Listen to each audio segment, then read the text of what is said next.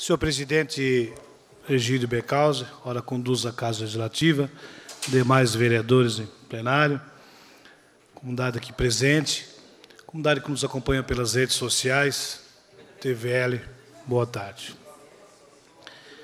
Hoje, primeiro, presidente, eu gostaria de parabenizar o Tenente Coronel Luiz André Pena Viena de, de Oliveira, que fez essa linda homenagem ao Cabo Maciel. A gente sabe o quanto a polícia tem lutado para fazer o seu, seus trabalhos. A gente aqui há muito tempo, desde 2017, cobramos é, por diversas vezes mais efetivo na cidade de Blumenau. Eu sei que difícil a situação se encontra, talvez, pode até ser que na minha fala já pode ter capturado esse fugitivo, mas eu digo que a região das Itopavas está bem apreensiva.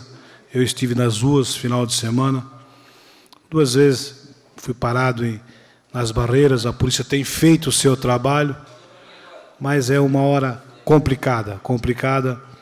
Prender um fugitivo é, do porte desse fugitivo, demonstração que a nossa cidade, diversos acessos de saída das cidades estão abertos e a qualquer momento ele pode se deslocar para outro município e acabar escapando. Mas torçamos que, que consigo, consigo uh, capturar esse fugitivo para que também a população é, consiga dormir sossegada. Ali na região das Tatutibas, eu sei que o povo está apreensivo, o povo está muito preocupado.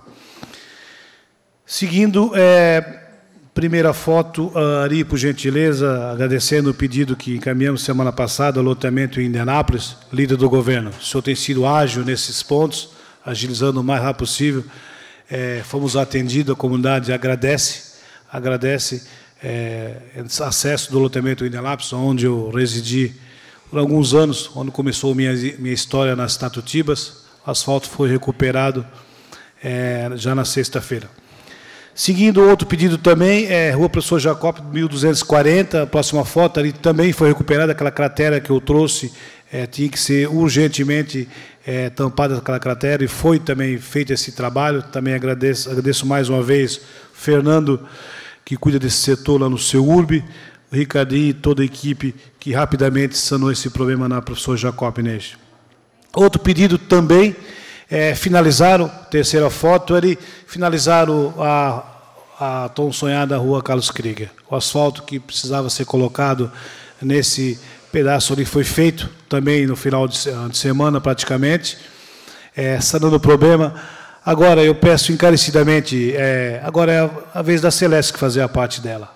A rua agora, para ser finalizada, talvez, pode até hoje ter retirado os postes, mas tem em torno de 10, 12 postes ali que precisam ser retirados urgentemente para que a empreiteira possa concluir a via e deixar a obra com qualidade, porque quanto mais tempo demora, mais risco, risco se corre na via, porque a via não está sinalizada, não tem faixa ao longo da via, e com essa chuva, é, com certeza, o risco é pior. Então, Celeste, se mobilize, Varela, eu acho que já foi feito esse pedido, vamos agilizar o mais rápido possível.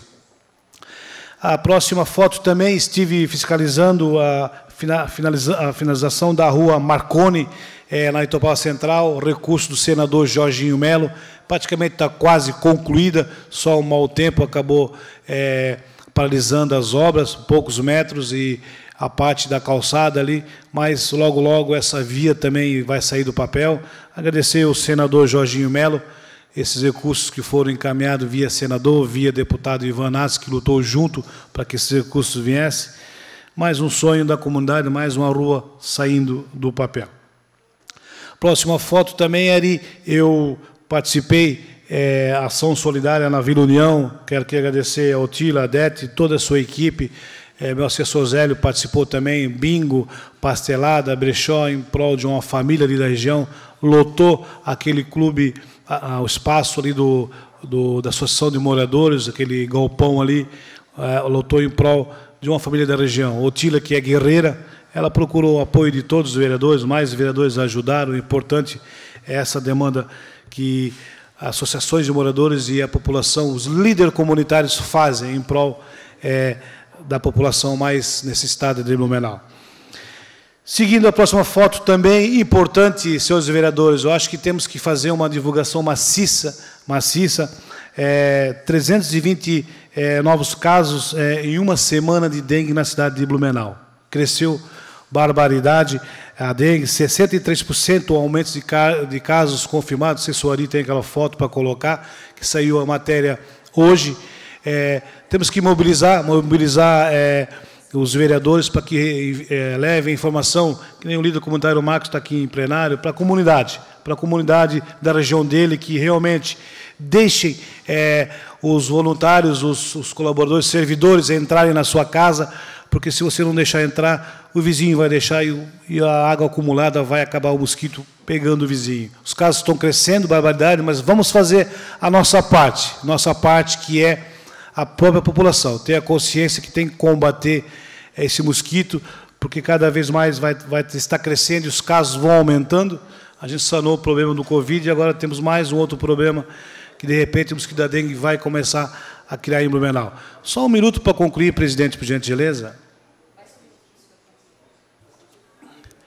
Obrigado, senhor presidente. Um minuto para me concluir. É, eu queria, senhores vereadores, é importante é, repassar a vocês, eu acho que é, as denúncias que eu fiz a, recentemente, daqueles cargos fantasmas, é, agora o caminho agora é a comissão de ética, comissão de ética que deve ser formada daqui a alguns dias. É, tomara, tomara que vocês tenham consciência de analisar bem esse processo. E quero deixar bem claro a cada um de vocês. É, fiz o mesmo protocolo no MP. MP vai investigar. Se aqui, aqui porventura alguém que quiser passar a mão na cabeça, alguém quiser simplesmente tirar o corpo fora, eu tenho certeza que o MP não vai tirar, não vai tirar. E está bem claro, é, eu protocolei um segundo processo direto na diretoria, ao qual tem mais algumas provas, essas também foram para o MP, e espero que seja apurado, espero que esse servidor devolva tudo o recurso, o recurso que ele utilizou, batendo o cartão ponto, indo dar aula na Uniaselv, indo no fórum, fazer ações, que devolva todo o recurso, não é só aqueles três, quatro que, que estão ali, bem claro. Tudo que consta no processo. E eu tenho certeza que o MP vai investigar a fundo esse processo. Obrigado, senhor presidente.